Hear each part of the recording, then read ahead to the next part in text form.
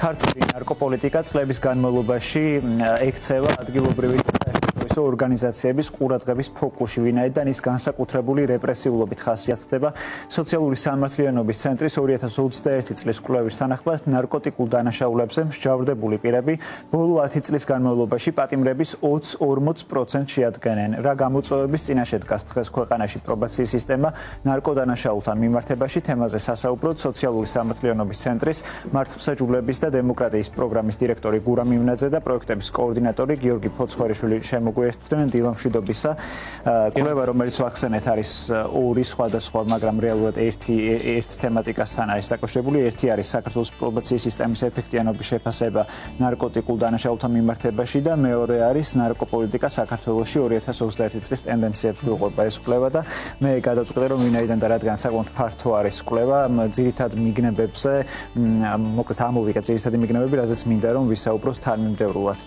და ერთ-ერთი მიგნება არის შემდეგი პრობაციის სისტემის როლი უმნიშვნელოვანესია ნარკოტიკულ და ნარკოტიკული დანაშაულის კონტექსტში. საქართველოსი ნარკოპოლიტიკა დღემდე მრავალი გამოწვევის წინაშე დგას. ნარკოტიკების მომხმარებლები გარდა მარიხუანისა არსებული კანონმდებლობიდან გამომდინარე კვლავაც ექნოდებარებიან კაცრ სასჯელებს, რასაც ემატება სრუმის მექანიზმებზე ხელმისაწვდომობის ნაკლებობა, სტიგმისა და გაუცხოების მძიმე პრაქტიკა.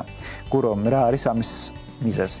დილამშვიდობის კიდევ ერთხელ და უღრმესი მადლობა ამ საკითხით დაინტერესებისთვის და საერთო დროის დათმობისთვის. პირველ რიგში ძალიან მინდა ძალიან მოკლედ მინდა ვთქვა თვითონ ნარკოტიკის მოხმარების ფენომენზე. ჩვენ წინა წინა წლებში გქონდა შესაძლებლობა რომ გვეკვლია ნარკოტიკის მოხმარების გამომწვევ მიზეზები. და სინამდვილეში თუ კი შევხედავთ ხო სტატისტიკურ მონაცემებს და ვნახავთ რომ ვნახავთ რა ტიპის დანაშაულებია ყველაზე მეტად გავრცელებული, საქართველოში ნარკოტიკული დანაშაული, ნარკოტიკის მოხმარება, მისი შეძენა შენახვა და ამავდროულად ქონებრივი დანაშაული არის ყველაზე გავრცელებული დანაშაულები. როდესაც ჩვენ ვეკითხებოდით ნარკოტიკის მომხმარებლებს, მათი ოჯახის წევრებს, ერთ-ერთი წამყვანი ფაქტორი ნარკოტიკის მომხმარებასთან დაკავშირებით, ну, წამყვან მიზეზებს შორის სახელდება ხოლმე სოციალური ფრუსტრაცია, სახელდება ხოლმე, ვთქვათ, ეკონომიკური სიდუხჭირე, სახელდება სოციალურ წრეებში ნარკოტიკის მომხმარებლის ყოლა. რაც საბოლოო ჯამში მიუთითებს ფრიანთ იმაზე, რომ ეს ქმედება ამ ამ ქმედებას აქვს ძალიან ძაფრი, მრავალფეროვანი სოციალური შრე. და მხოლოდ მხოლოდ სისხლის სამართლის კაცრი სასჯელით და მხოლოდ მხოლოდ თუნდაც თუნდაც საპატიმრო სასჯელით ან არასაპატიმრო სასჯელი რომ ავიღოთ თუნდაც ხო ჯარიმით ან პირობითი მსჯავრით. ეს სოციალური კონტექსტი და სოციალური ფაქტორები რომლებიც განაპირობებს ამ ქმედებებს ვერ გვარდება, არ აღმოიფხრება და ამიტომაც არის აუცილებელი, რომ სახელმწიფოს ქონდეს უფრო ფართო და უფრო მრავალფეროვანი პოლიტიკა, არ იყოს მხოლოდ დასჯაზე და იზოლაციაზე ორიენტირებული და აქ ზუსტად შემოდის პრობაციის სისტემის როლი, ძალიან მნიშვნელოვანი.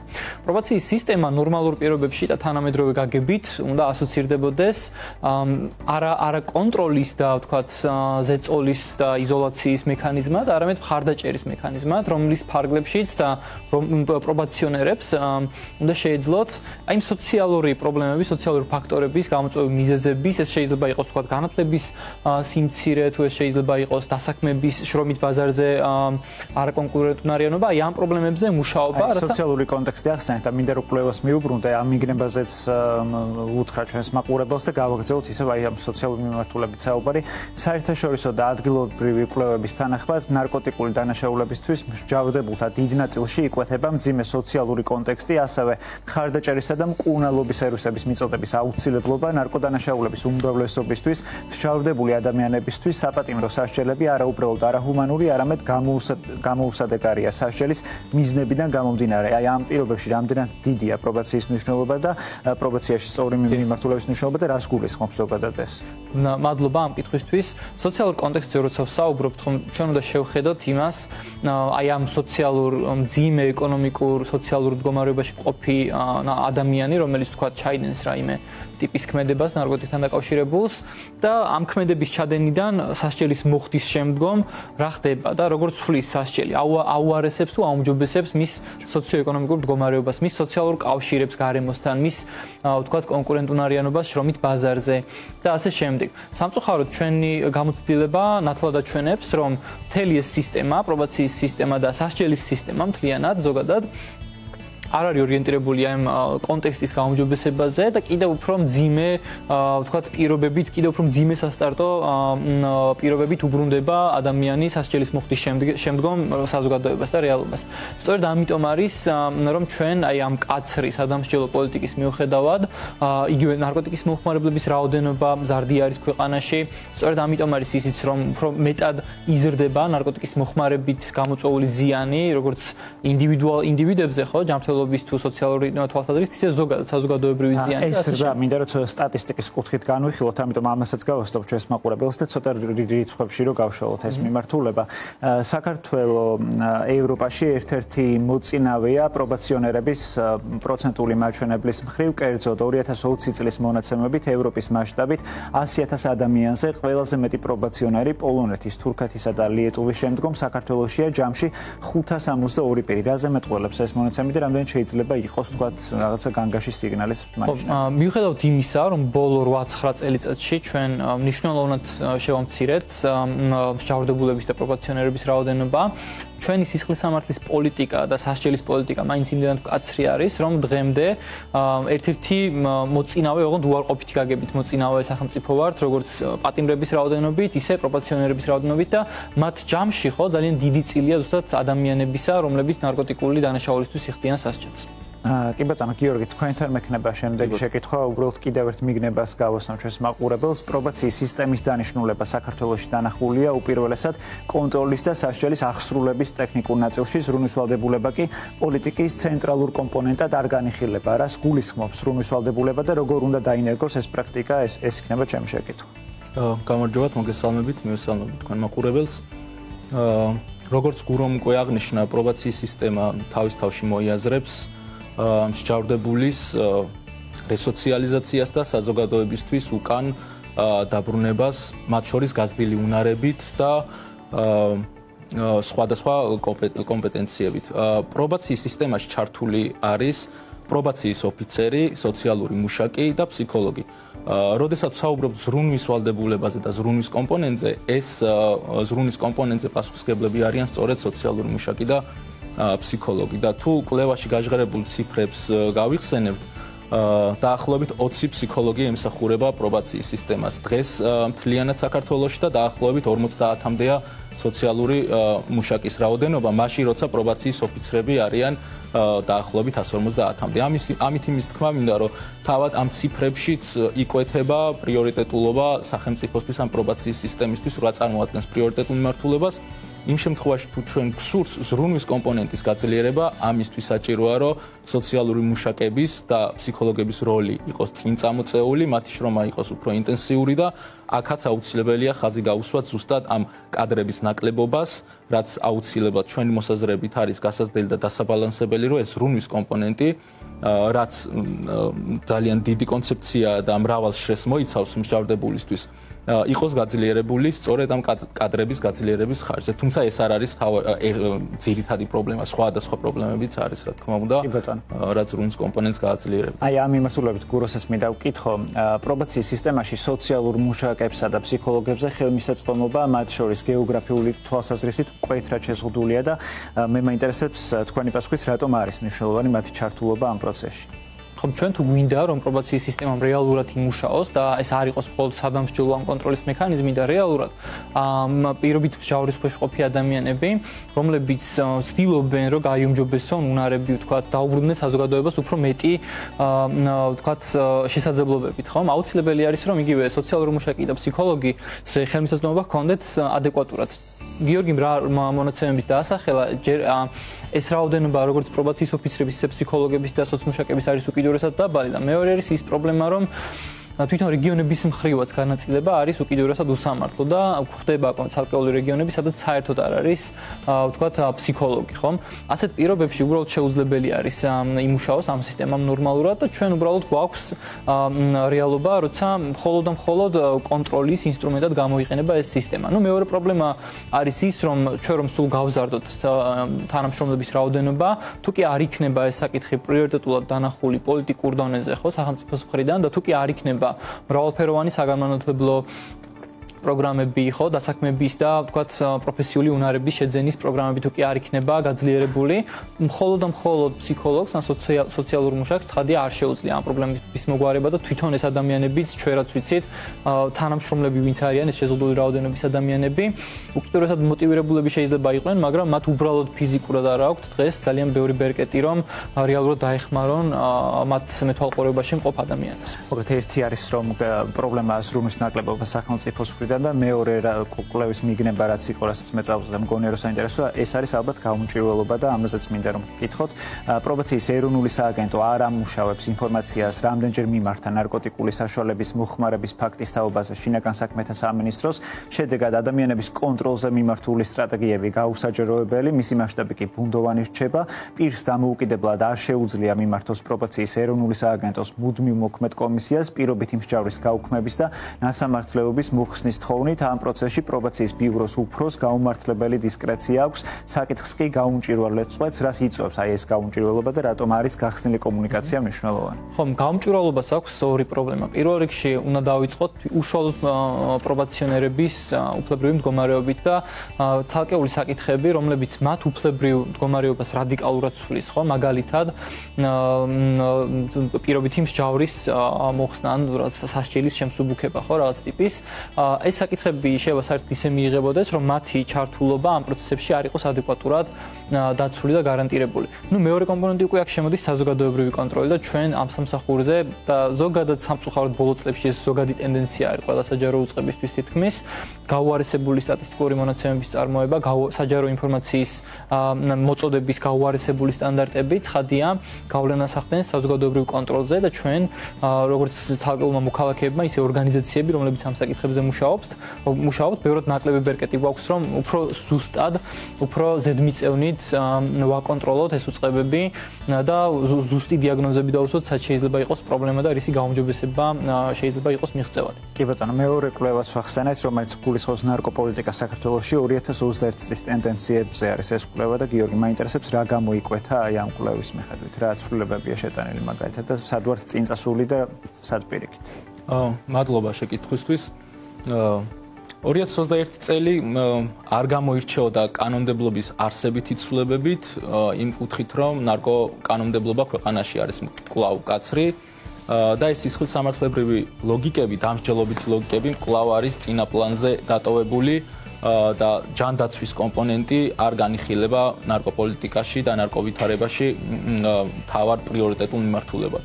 შესაბამისად ეს კლავ შენარჩუნებულია. იყო ზერელ საკანონმდებლო ცვლილებები, თუმცა ჩვენ ყველა დადებით ცვლილებას რა თქმა უნდა მივესალმებით ამ კუთხით. და რა არის ეს? ეს არის რვა ნარკოტიკულ საშუალებაზე ოდენობების განსაზღვრა და მაყურებელს რომ აუხსნათ და გასაგები რო იყოს, ნარკოტიკულ საშუალებებს აქვს დადგენილი მცირე სისხლის სამართლებრივად რელევანტური დიდი და განსაკუთრებით დიდი ოდენობები და ბევრ ნარკოტიკულ საშუალებაზე არ იყო გამიჯნული ოდენობები, ზღვრები არ იყო დადგენილი.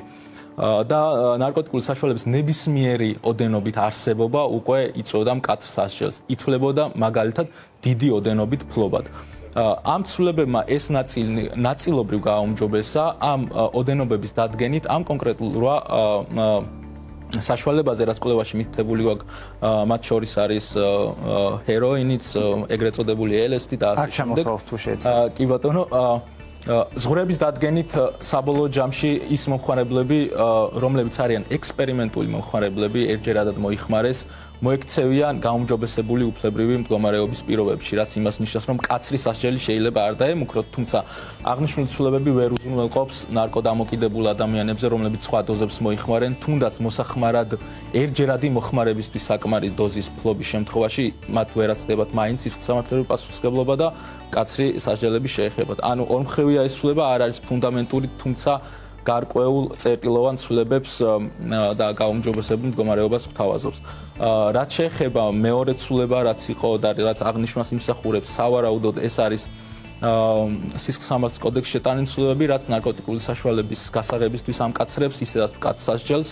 და აქაც მაყურებლისთვის რო განმარტოთ ჯობს რომ საზოგადოება ხშირად აღიქვამს ნარკოტიკული საშუალების გასაღებას ძალიან ძიმე დანაშაულად და ეს ასეთ შეიძლება რომ მივიჩნიოთ თუმცა ზუსტად ჩვენთან დადგენილი ოდენობების გათვალისწინებით მაგალითად ნახევარ გრამზე მეტი კოკაინი ითვლება დიდი ოდენობით ნარკოტიკულ დანაშაულად. შესაბამისად, როცა ვსაუბრობ დიდი ოდენობით გასაღებაზე, ყოველთვის არ უნდა ვიფიქროთ მართლაც რაც წარმოგვიდგენია ძალიან დიდი ოდენობა, შესაძლოა ეს იყოს დაკავშირებით 1 გრამურად საზოგადოებაში სტიგმაც გაცილებით უფრო მაღალია. დიახ, შესაბამისად, ესეც ცვლილებებს რა თქმა უნდა უფრო მეტი საზოგადოებრივი მხარდაჭერაც შეიძლება კონდეს, მაგრამ გამომდინარე იქიდან რომ ჩვენთან არსებული სასჯელები ისედაც არის მკაცრი, არ არსებობდა მსგავსი ცვლილებების შემოტანის აუცილებლობა. არსებობს ისეთი ცვლილებები მე რამდენადაც ვიცი პრაქტიკაში მქონია ესეთი შემთხვევები, როდესაც გამიგია რომ რაღაცა გარკვეული საკანონმდებლო ცვლილებები, რაც უკვე კარგად იმუშავებს სოციალური თვალსაზრისით, ესეთი პროექტები ფაქტობრივად არის განხილვა. ანუ არ მიუღიათ განხილვაში არ უმსჯელია პარლამენტს ამაზე. არის რაღაცა კონკრეტული მიმართულება თქვენი დაკვირვებით, რასაც მიზანმიმართულად ბლოკავენ?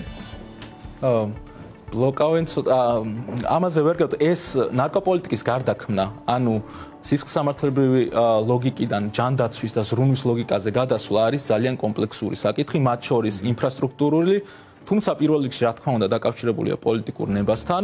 ხოლო შემდგომ თუ მიიღებამ გადაწყვეტილებას უნდა მოაწყო შენ ჯანდაცვის და სისხლ სამართლის ინფრასტრუქტურა იმნაირად რომ მორგებული იყოს ზრუნვაზე ორიენტირებული პოლიტიკის. თქვენ კითხვას ეს კონკრეტულად რაც შეეხება ვერ გეტყვით, შეიძლება საზოგადოებრივი პრობლემაც არის, რომ არ არის ჯერ ფართო მოსახლეობა მზად და ჯერ კიდევ სენსიტიური საკითხია ზოგადად იმის ხსენება, რომ სასჯელების პოლიტიკას უნდა გადავხედოთ. ფაქტი ის არის, რომ აქამდე კანონმდებელს ნება არ გამოუჩენია სტრუქტურული ძირითადი გარდაქმნების და აქამდე ის სულებები რაც ქონია ერთი მხრივ ძირითადად თითქმის ეფუძნებოდა საქართველოს საკონსტიტუციო სასამართლოს გადაწყვეტილებებს რომელიც იტყოდა რომ კონკრეტული სასჯელი არის არაკონსტიტუციური და ამის შემდგომ პარლამენტი უკვე მექანიკურად იმიტომ რომ ის ვალდებულება აქვს იღებდა უკვე ისეთ სრულებებს რაც შეეთანხმებოდა თანხმობაში იქნებოდა საკონსტიტუციო გადაწყვეტილებასთან. ესეთი იყო მაგალითად მარიხუანას შემთხვევაც თუ რამე გამოჩა გურო დაამატებს ამ საკითხთან დაკავშირებით? მე მოკლედ დავამატებ კითხვაზე ისე მართლა ანუ ეს მოდელი რასაც ამდენი წლებია ხო უჭერენ ხარ სამოქალაქო ორგანიზაციები, პროფესიული ჯგუფები და არგის ექსპერტები არაერთი ემპირიული გამოცდილება არსებობს ხო დასავლეთის სახელმწიფოში სადაც ძალიან კარგად იმუშავა აი პრევენციაზე დაფუძნებულმა მიდგომებმა და ზრუნვაზე დაფუძნებულმა მიდგომებმა ნარკოპოლიტიკის კონტექსტში ჩვენთან ამ საკითხზე გასაგები არის რომ არ გვაქვს პოზიტიური ნაბიჯები და გასაგები არის რომ ხელისუფლება ვერ იღებს ამ რეფორმებს.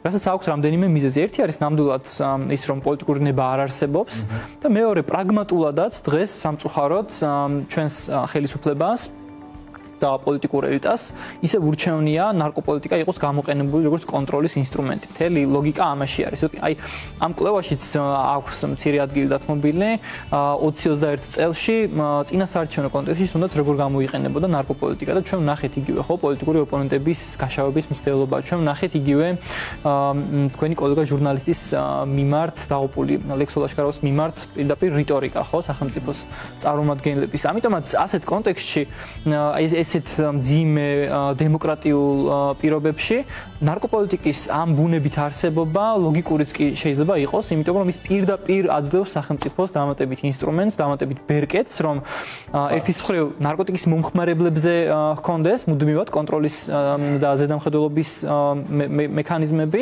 და მეორე მხრივ ამ თემით მოახდინოს საზოგადოებრივ აზრზე სხვადასხვა მანიპულაციები. საინტერესოა სტატისტიკაც გიორგი. პატიმრობის მაჩვენებელი რამდენად მაღალია ქვეყანაში? ეს წლების წინ საკმაოდ დიდ პრობლემას წარმოადგენდა. თუ არის მაგალითად პოზიტიური ცვლილებები ამ კუთხით? კი ბატონო მადლობა. კითხვის გავაერთიანებ ზოგადად ამ სტატისტიკის ნაწილს. ჩვენ მიერ შესწავლილ ინფორმაციაზე დაყნობით ბოლო 3 წელში გარკვეული გაუმჯობესება შეიძლება შეინიშნებოდეს თუმცა ეს საკითხიც შედარებით მრავალშრიანია და რო განგიმარტოთ მაგალითად 2019 წელს თუ იყო 6000 ჯამში ნარკოტიკული დანაშაული 2020 წელს იყო დაახლოებით 3000 თუ არ ვწდები და გაცილებით უფრო ნაკლებია და საინტერესოა პანდემიაც ხო არ ქონდა რაიმე ტიპის განახევრებულია და 2021-ის მოდიში რო გაწყვეტინეთ შედარებით ცოტათი გაიზარდა. თუმცა 2019 ბოლო წლების მანძილზე 2019 გამორჩეული იყო როგორც რეგისტრირებული დანაშაულის რიცხვით, ნარკოტიკული დანაშაულის რიცხვით, ასევე სასჯელებზეც ეს აისახებოდა და მაღალი პატიმრობის მაჩვენებლი. პანდემიის გავლენა თუ არის ამ ჩვენ ვფიქრობთ, რომ რა თქმა უნდა, თავარია რომ პანდემიის შემდგომ დავაკვირდეთ ჩვენ ამ სტატისტიკებს და ვნახოთ განვითარება. თუ დავინახავთ, რომ პანდემიის მწვავე ეტაპის გადავლის შემდგომ ნარკოტიკული დანაშაულის რიცხვი არიმატებს რეგისტრირებულის და განაჩენებზეც აისახება და სასამართლო ნაკლებად უსჯის საპატიმრო სასჯელებს მშავდებულებს ვიფიქრებთ რომ სახეზია ნამდვილად დადებითი ტენდენცია. თუმცა იმ შემთხვევაში, როცა ვიცით, რომ მოქმედებდა კომენდანტის საათი და შეზღუდვები, რა თქმა უნდა, ჯერჯერობით ზუსტად ვერ ახსნით ეს იყო პანდემიის გავლენა, თუმცა სავარაუდო დიდწილად ეს შეიძლება ყოფილიყო პანდემიის. წუთი გრჩება და გურო უნდა გთხოვოთ, რომ რაღაცნაირად შევაჯამოთ, რა რჩება ახლა მთავარ გამოწვევად სახელმწიფოსთვის ამ მიმართულებით. მთავარი გამოწვევა ძალიან მოკლედ რომ თქვა, არის ისევ ის, რომ პრობლემას არ ხედავს სახელმწიფო, არ ხედავს ათასობით ნარკოტიკის მომხმარებლების და მათი ოჯახის წევრების ყოველდღიურ წუხილებს, არ ხედავს მაგალითად იგივე ჯანდაცვის სექტორის მიმართულებით რა გამოწვევები აქვს და ის ცოტა შეზღუდული რაოდენობის პროგრამებიც რომლებიც არსებობს ქვეყანაში რამდენად ბევრ ბარიერს ქმნის იმისთვის რომ ადამიანებმა ხარისხიანი ჯანდაცვის პროგრამები მიიღოს. და საბოლოო ჯამში ეს ადამიანები და მათი პრობლემები არის სრულად იგნორირებული სახელმწიფოს მხრიდან. რასაც უარყოფით შედეგი აქვს არა მხოლოდ ამ ადამიანების მათი ჯანმრთელობის სოციალური მდგომარეობის მიმართ არამედ ზოგადად საზოგადოებრივად საზოგადოებრივი ჯანდაცვის კუთხით არის ეს ნარკოპოლიტიკა პრობლემური და საზიანი. კი და ჩვენს თემას არქე ასე ერქვა ნარკოპოლიტიკას უნდა თუ კონტროლი თქვენი კვლევის სათავიდან გამომდინარე და სამწუხაროა რომ დღესდღეობით ეს ყველაფერი კონტროლია და არასრუნოა და ვისურვებდი რომ შეიცვალოს ქვეყნისთვის უკეთესი იქნება და უშუალოდ პრობაციონერების მაგაში ბენეფიციარებისთვის ჩვენს ძალიან დიდი მადლობა ამ თემაზე მადლობა პირიქით. არ დუნდებით და არ ნებდებით მადლობა. ესეთ მნიშვნელოვან და საინტერესო კვლევებს აწარმოებთ მოწვევს დიდი მადლობა